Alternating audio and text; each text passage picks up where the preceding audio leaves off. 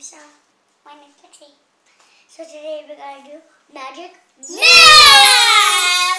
So, So as you see, we have milk here, Yeah. some Q-tips, dish soap, and four Food different kind of colours. food colors. So Lexie, do you want to put the milk? Yeah. Okay. So first thing, I'm gonna get two of these things in here. For all of it, we need all of it. Okay, Lexie, um, you can rub those two while I put the food coloring.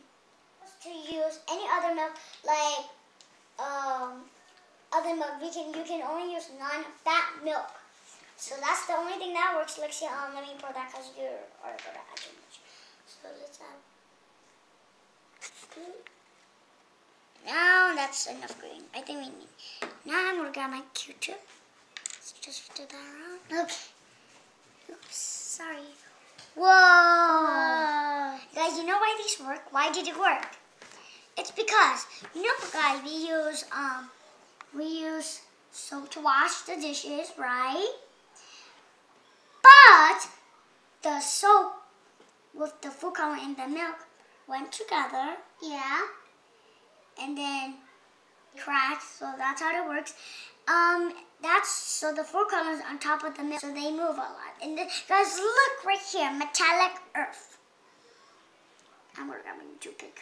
We're gonna add a little bit more color. Add some blue. Add red. And yeah. No, we're gonna add blue. Red.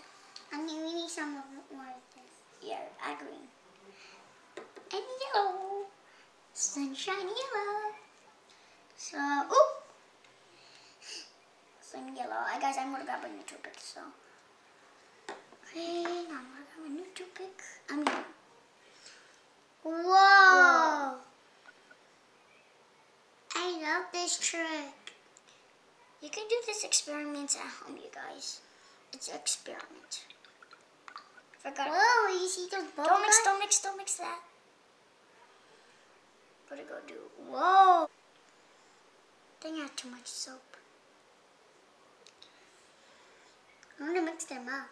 Don't. It's gonna become brown. I want to become brown. Okay, guys. Um, make sure you subscribe our channel No. and then comment on our Facebook, and then add ask what kind of channel could we do, or experiments, or songs, or anything like that. So we can do for you guys. So make sure you subscribe, like, and share.